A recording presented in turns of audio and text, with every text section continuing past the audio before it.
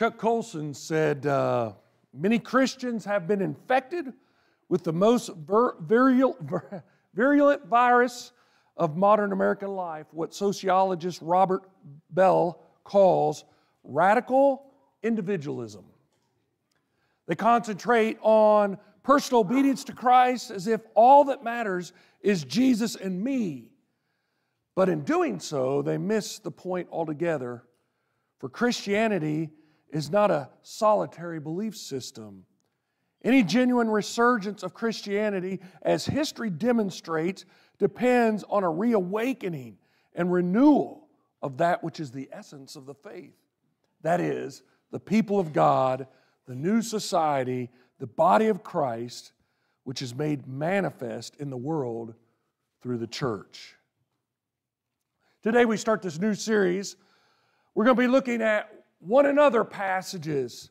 Uh, there's scriptures all through the New Testament talking about one another, what we need to do for one another, how we need to treat one another, the way in which we're supposed to interact with one another.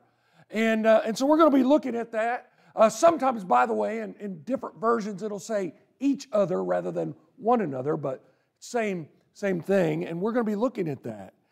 And I think it's very important for us to look at these one another passages and be constantly reminded that we have been called to walk this journey that we call life together, we've been called to walk this together. Uh, we, we, we use the Bible as our guide, but the Bible describes the church as a, as a body and as a family and as a, a living temple, as it were. And that's you and me. We, we're supposed to be walking together through this journey with the Lord. And many have bought into a misunderstanding when it comes to our faith. Uh, really, kind of two misunderstandings. The first misunderstanding is that we can separate our faith from the rest of our life, as if, as if we have our faith life and then we have our regular life. But those two things are intrinsically connected. They're, you can't separate them, they're together, they're one. That's one misunderstanding that people have. The second misunderstanding some people have is that they think that our walk of faith is our personal walk of faith. And there is a truth to that. We personally have to take responsibility for the actions we take, but we're not in it alone. We're walking together. Our text for this morning is found in uh, Romans chapter 12. And in Romans chapter 12, I want to read verses 3 through 5 here for you this morning and listen to this one another passage. It says, Because of the privilege and authority God has given me, I give each of you this warning. Don't think you are better than you really are. Be honest in your evaluation of yourselves, measuring yourselves by the faith God has given us. Just as our bodies have many parts, and each part has a special function. So it is with the body of Christ. We are many parts of one body, and we all belong to each other or to one another. Paul starts off, or, or, in this text, as we start off this series, I should say, Paul's telling us that we belong to each other. As a church, you belong to me, I belong to you. We're part of the same body he talks about. We're, we're part of the body of Christ, meaning we cannot function well without each other. If you're part of a body, you can't function well without the other parts doing their job too. If my right foot decides it's going to go that way and my left foot decides it's going to go that way, in a very short time, I'm going to be in a whole lot of trouble. That's the same thing in the church. Now, Paul tells us this in Romans. But to the Corinthians, he really jumps in and explains it. So let me jump over to there. 1 Corinthians chapter 12, starting in verse 12, he gives us more information. He says the human body has many parts, but the many parts make up one whole body. So it is with the body of Christ. Some of us are Jews, some are Gentiles, some are slaves, and some are free, but we have, been, we have all been baptized into one body by one Spirit. We all share the same Spirit. Yes, the body has many different parts, not just one part.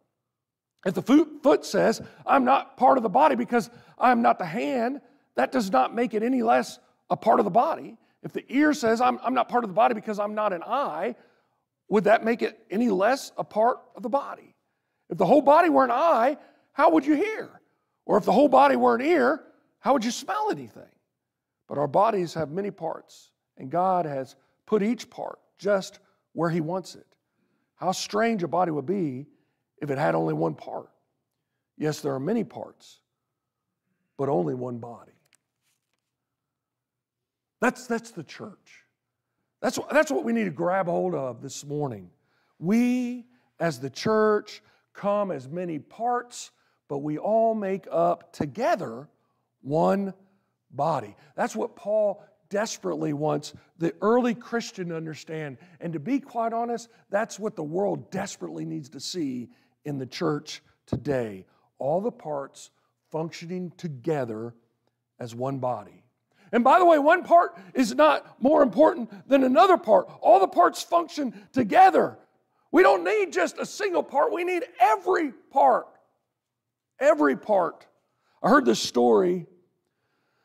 The Orthodox Church in Russia in 2008 were getting ready to open a church building that they had had to close for about a decade.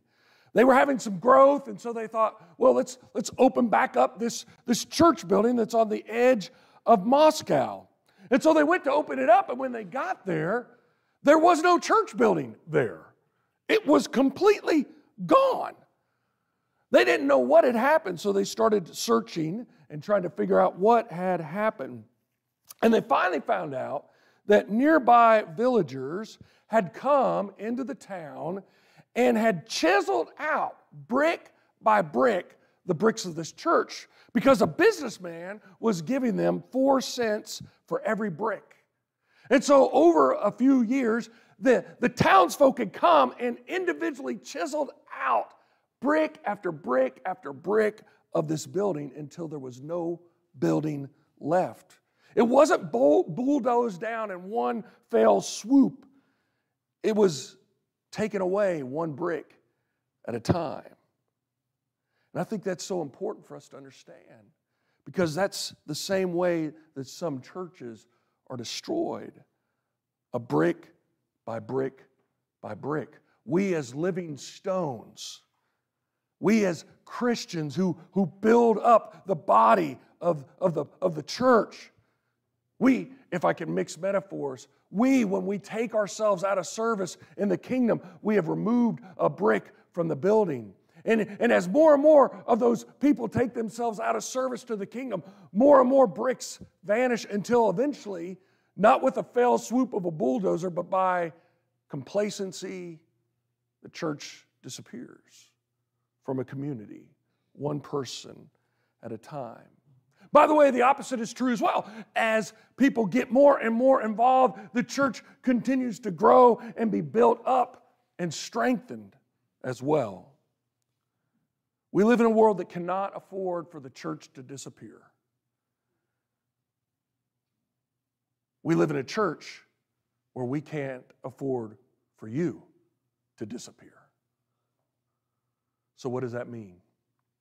That means as we look at this text, that means the first thing we need to understand, and I've said this before, I'm saying it again because Scripture does. First thing we need to understand is we need you. We need you. You're not here just to fill a seat. You aren't here simply because you like how we do things.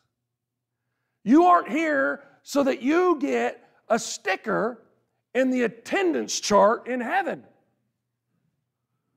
God has placed you here because you are important to His body here in this community.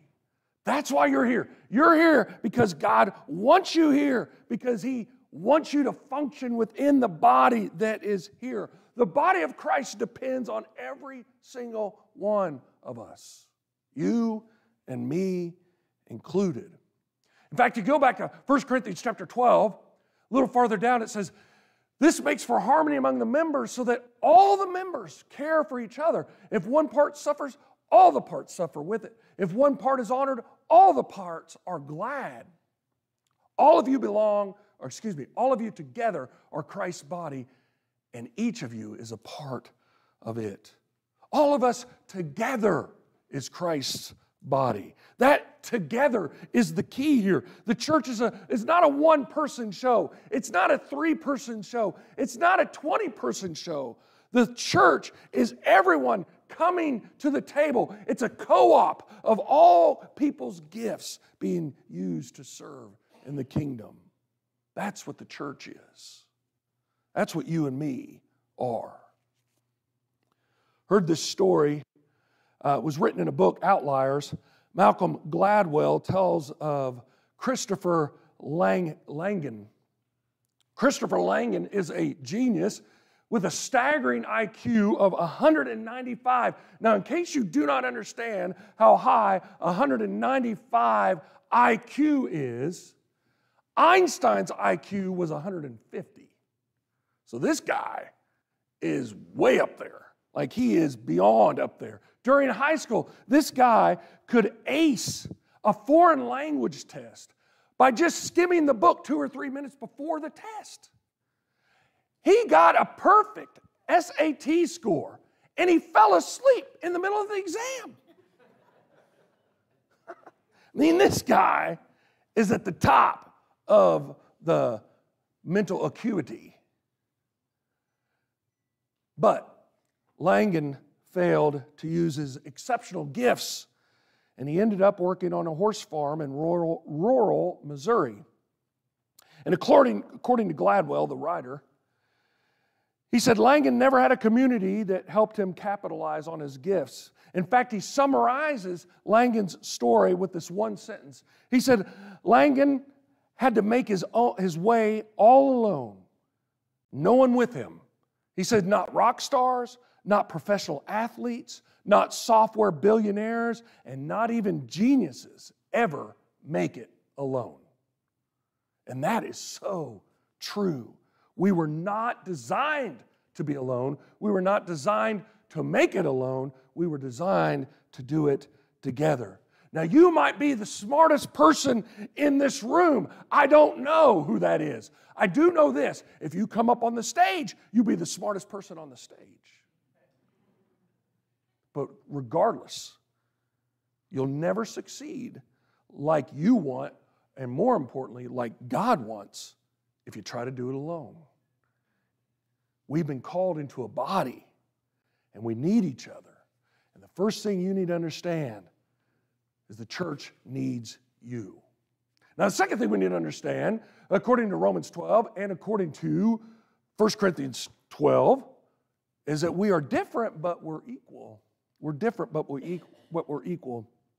Now, this is a hard concept for us to grab hold of, especially in our society. We are taught in our society to always try to elevate ourselves. We kind of have the UFC fighter mentality. You know, you go and it's before you got the weigh in and they're trying to intimidate the other guy and they're saying things like, I'm the greatest. And, you know, boxers did that back in the day and Wrestlers still do that with their mask on, whatever they got on, I don't know.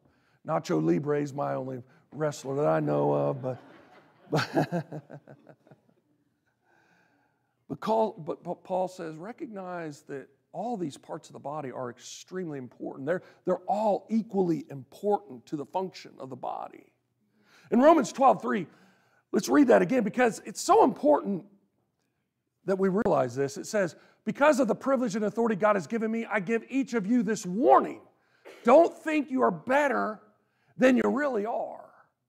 Be honest in your evaluation of yourselves, measuring yourself by the faith God has given us. Paul's warning us.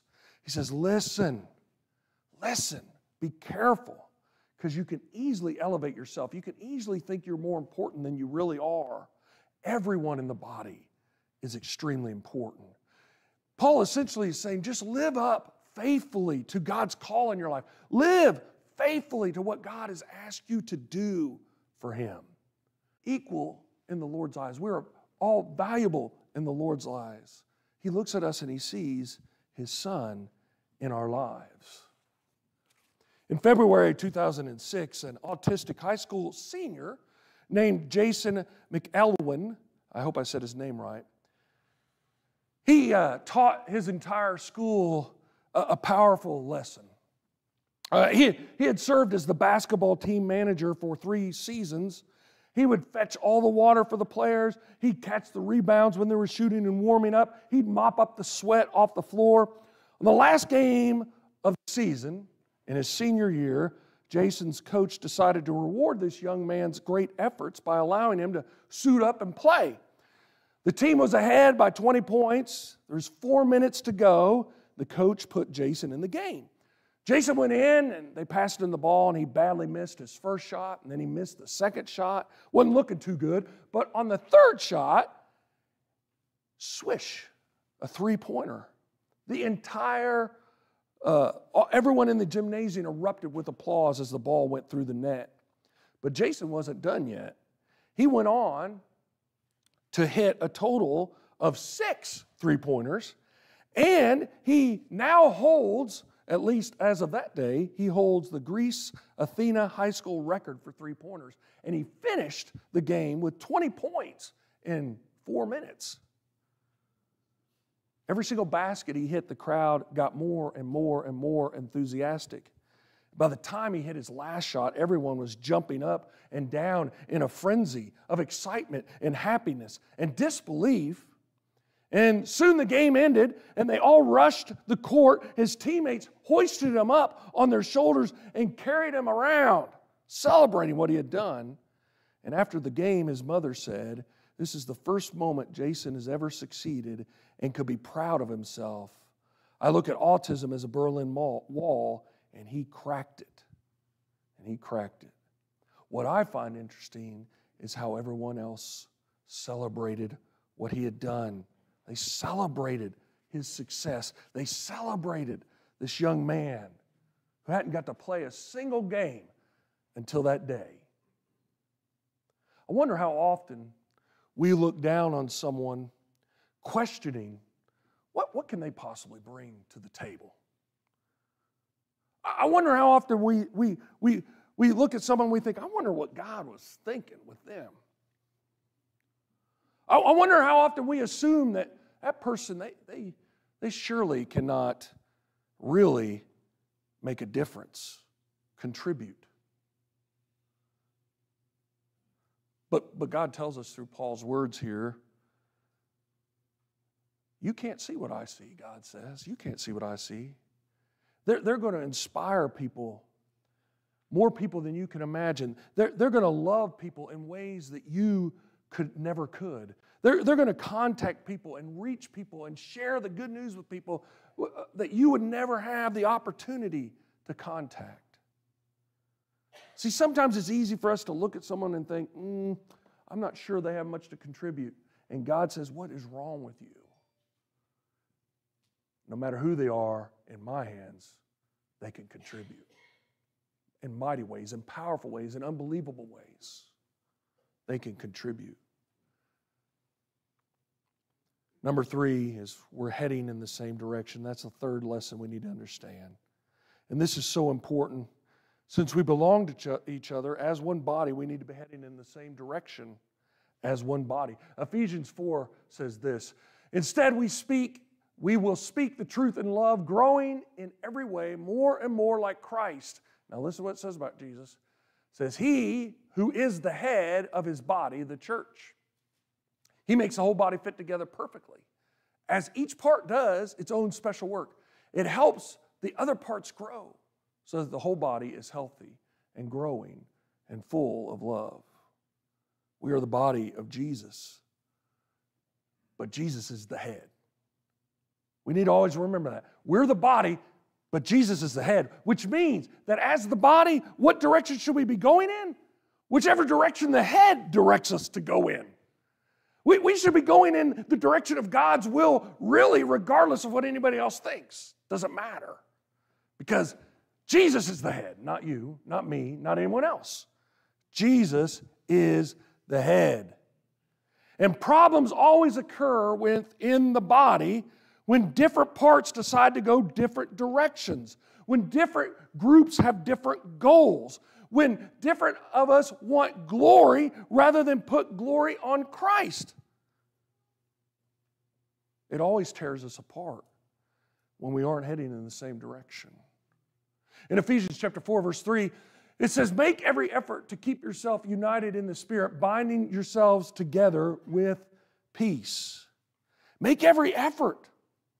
It's another way of saying, always do everything you can to stay united in your work of Jesus.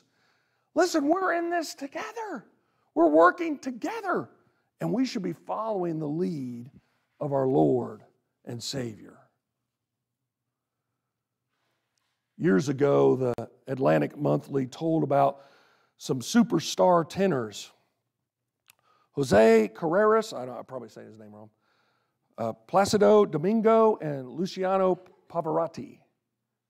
They were performing together. All three of these men were performing together in Los Angeles. And a reporter came up to him and was trying to push this, um, this issue of competitiveness between these three men. All three known as a great tenor in their own right. Domingo said this He says, You have to put all of your concentration into opening your heart to the music. You can't be rivals when you're together making music. You know what? I thought his answer was so great because that's exactly true in the church too. That's always true in the church. We, we, we're together making music. It's not about who can sing louder, it's not about who sings this part or that. It's that we're all singing on key for the Lord in the same direction with the same song so that He gets the praise, not us. Whenever we head off in different directions, it gets ugly. But whenever we head off in God's direction, it becomes beautiful.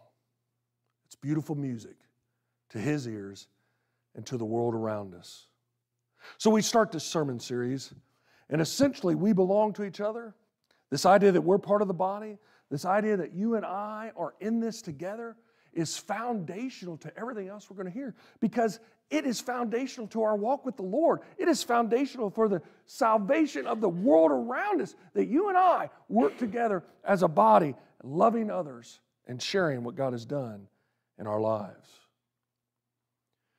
Ephesians 1 says this God has put all things under the authority of Christ, has made him head over all things for the benefit of the church. And the church is his body. It is made full and complete by Christ who fills all things everywhere with himself.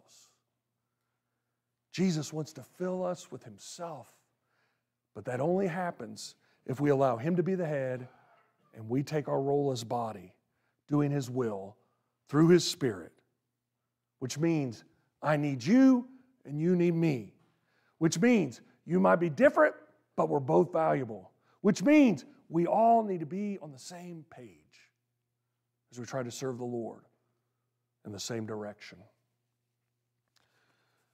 This movie, some of you have watched, some of you have never heard of it. It's called Spartacus.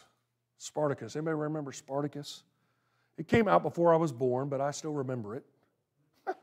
So if you watched it at the theater, you're old. it's a classic movie. It retells the historical account of the great Roman slave rebellion, which happened in 71 BC.